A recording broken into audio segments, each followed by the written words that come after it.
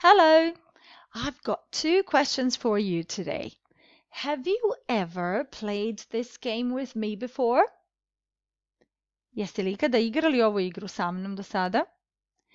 Have you seen the mysterious word behind these tiles? A jeste li vidjeli misterioznu reč iza ovih pločica? Ako jeste, bravo! Ako niste, potražite video gdje ćete um, slušati o mojim iskustvima, my experiences.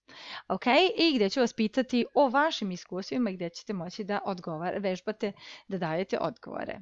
Anyways, this is what I talked about in that video. I was born in 1977 and ever since I was born, od trenutka od kada sam se rodila, pa sve do sada prikupila sam mnoga iskustva. Desile su mi se mnoge stvari u životu, a ovo su samo neke od njih. Neke su se desile jedan put, dva puta, više puta, once, twice, three times, a million times, and some of them have never happened before. A neke se nisu desile nikada. Ok, znači više u tom videu, a danas ćemo se više baviti iskustvima ovo dvoje likova. This is Smart Alec and Sweet Sue. Alec Pametnjaković i Slatka Sue. Smart Alec and Sweet Sue are private detectives and they are rivals. Um, you can find them and read about them in a series of episodes in the course book called Project 3. Možete ih naći u učbeniku koji se naziva Project 3. A ova epizoda je naslovljena Have you ever climbed a mountain? Jesi li se ikada pela na planinu? These are the timelines of their lives. A, kao, ovo su vremenske linije njihovih života, kao ona moja na prethodnom slajdu, s tim što ovdje ne vidimo početak, jer ja ne znam kada su rođeni, niti koliko imaju godina, ko je mlađi, ko je stariji, ali je bitno da se oni zajedno tu nalaze um, u sad, sadašnjosti zajedno sa svima nama. Okay, so um, along this line you will see Smart Alex experiences. Dok budete slušali priču, uh, ovdje će se pojavljivati njegova iskustva, a također i uh, iskustva Sweet Sue. Pa obratite pažnju uh, koje je šta iskosio u životu. Okay. Have you ever played golf, Sweet Sue? No, I haven't. I've never played any sport. I've played almost every sport golf, tennis, football, basketball, ice hockey. Hmm. Have you won any competitions? Yes, I have. I've won lots of trophies. Have you ever climbed a mountain, sweet Sue? No, I haven't, but my brother has.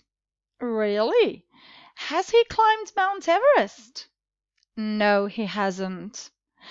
I've climbed Mount Everest twice, you know. Oh, have you?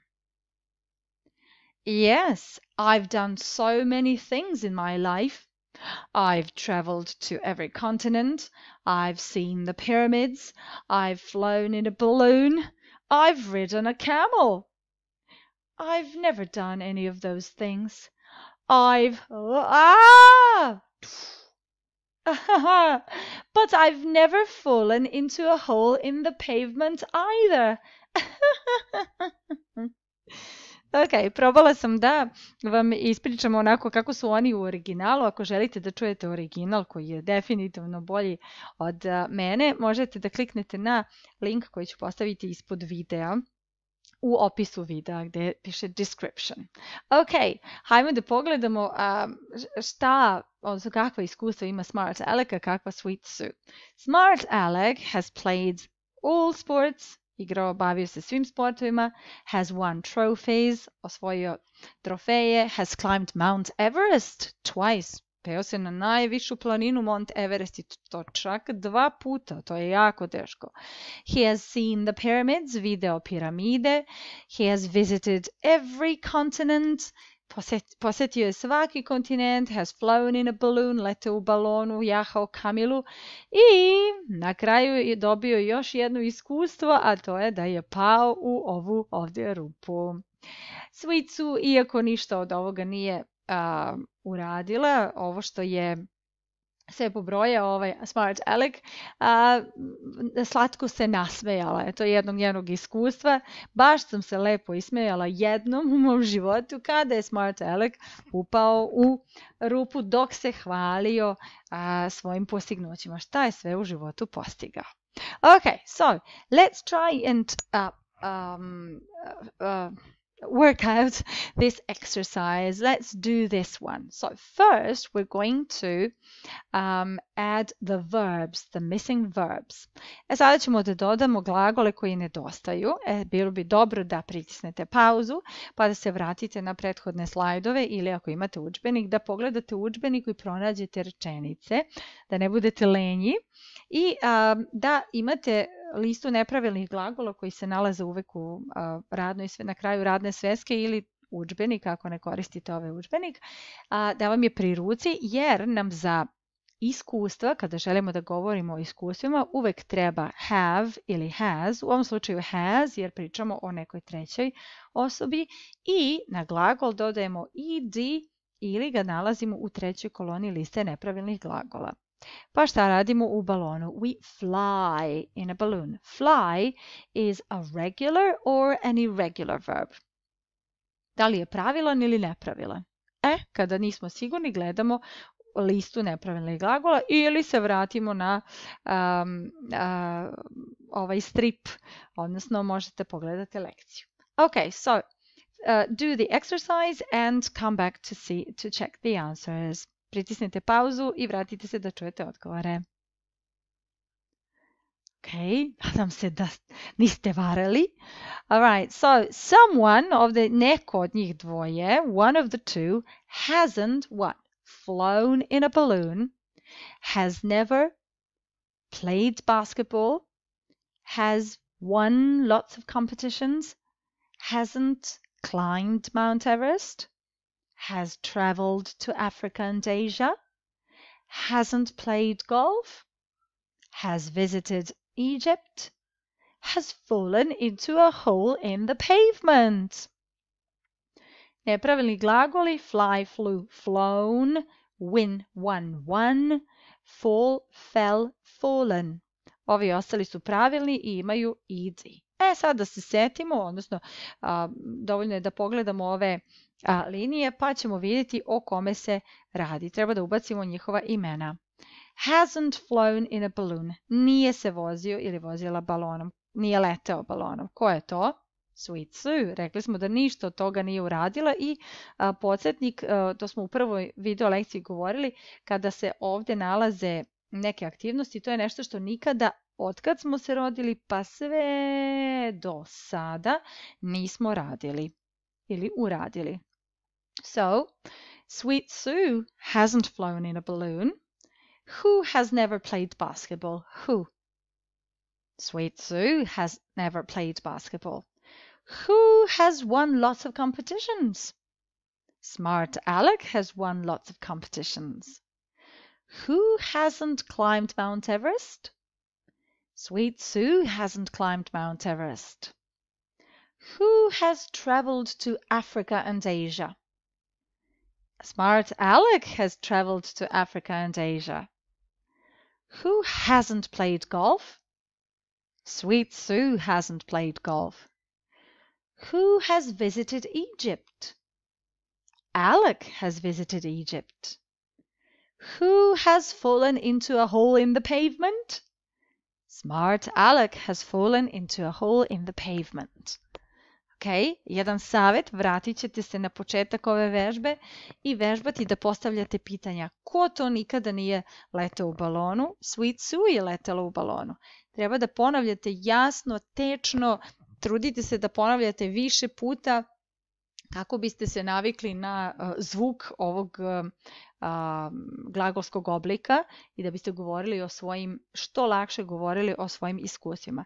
Poenta je da uh, naučite neke izraze koji će vam sami izleteti u toku a, nekog raz, u toku razgovora, a ne da razmišljate o pomoćnim glagolima, o trećoj koloni, o nastavku id i slično.